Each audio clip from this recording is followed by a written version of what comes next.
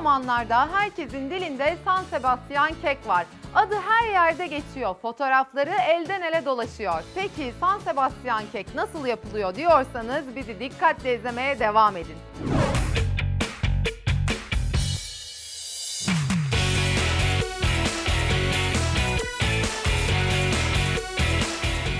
Göze hem damağa hitap eden son günlerin en popüler tatlısı San Sebastian kek nasıl yapılır? Hazırsanız başlıyoruz. Yanımda İdil Yazar var. Nasılsın İdil? İyiyim Müge sen nasılsın? Teşekkür ederim. Ben de iyiyim. Kitabında hemen önümüzde duruyor. 30 dakikada atıştırmalıklar e, diye bir kitap. Sadece 30 dakikada 80 pratik atıştırmalık tarifi var sanırım. Ana yemekler de var, tatlılar da var. Böyle işte e, hani herkes şimdi biliyorsun çok yoğun, herkesin Evet. vakti az. E, ondan insanların başlangıçtan sonuna kadar tam 30 dakikada yapabileceği ana yemekler, tatlılar, atıştırmalıklar olarak 3 kitap çıkardım. Şimdi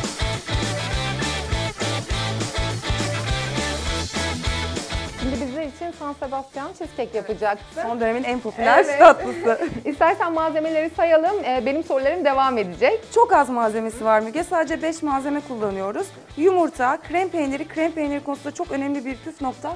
Mutlaka tuzsuz ve beyaz renkte bir krem peyniri olacak. Şeker kullanacağız, krema kullanacağız ve biraz keki tutması için bir yemek kaşığı kadar da un kullanacağız. Malzemeler bu kadar.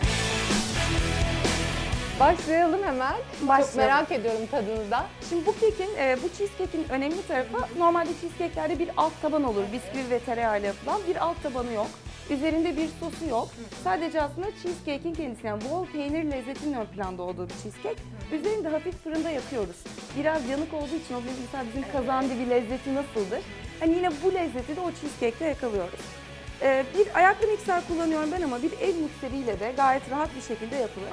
Evvela 4 tane yumurtayı oda sıcaklığında olması çok önemli. Yumurtanın da krem peynirinin de. Yumurtalar hafif köpürene kadar çırpıyoruz.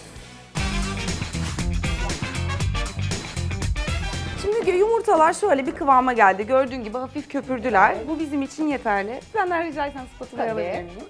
Şimdi beyaz renkte ve tuzsuz krem peynirini ekliyoruz. Ee, ben bu cheesecake'i ilk San Sebastian'da tattım. San Sebastian İspanya'nın Bask bölgesinde, kuzeyinde bölünen bir, e, kuzeyinde bulunan bir bölge. E, oranın şefiyle böyle uzun uzun konuşmuştum. Bunun içinde ne peynir var, özel bir peynir var mı? Dedi ki özel bir peynir yok. Bildiğimiz beyaz tuzsuz krem peynirler var.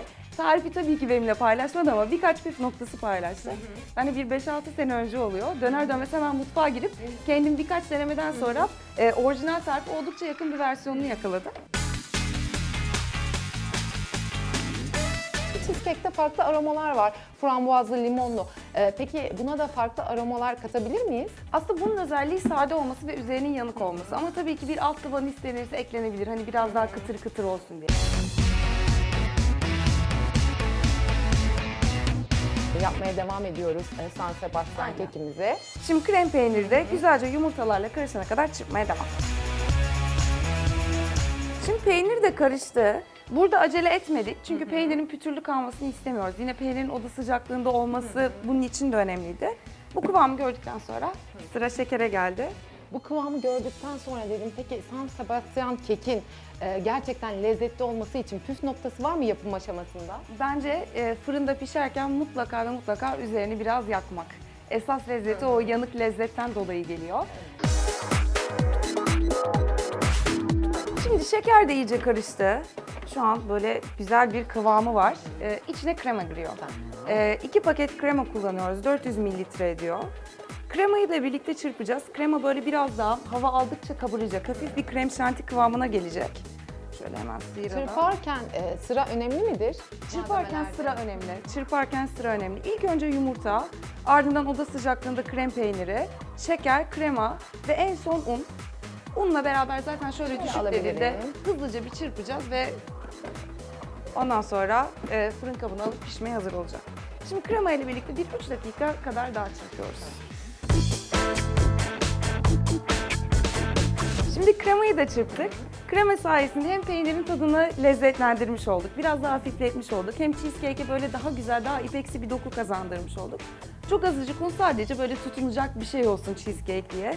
Bir yemek kaşığı kadar da unu ilave ediyoruz. Şimdi artık unu ekledikten sonra kek yaparken yine çok önemli bir püf noktası. Cheesecake'te de aynısı geçerli. Unu ilave ettikten sonra düşük devirde çırpacağız. Ve karıştığını görür görmez de hemen durmamız gerekiyor.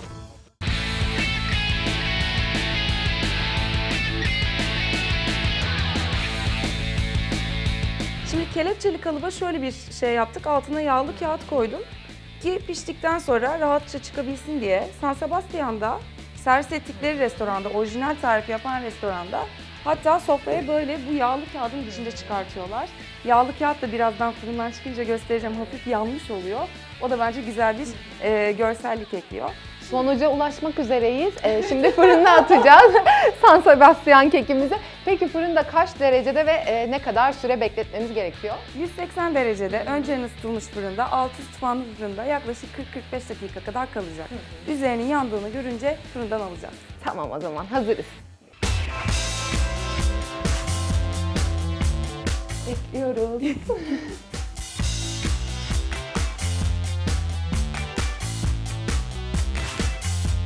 San Sebastian kekimiz hazır. Evet. Ee, çok güzel gözüküyor. Fırına e, attığımız halinden eser yok idi. Değil mi? Çok güzel gözüküyor. Üzeri böyle yandı. Fırından aldıktan sonra bir yarım saat ısınması için bekledik. Hani ne kadar daha uzun bekleyecekse buzdolabına alınabilir soğuduktan sonra. 2-3 gün içinde de buzdolabına attıktan sonra e, tüketmenizi tavsiye ederim ama o kadar lezzetli ki zaten genelde böyle çıkardığınızdan sofraya bitiyor. Sana hemen bir dilim kesiyorum ben.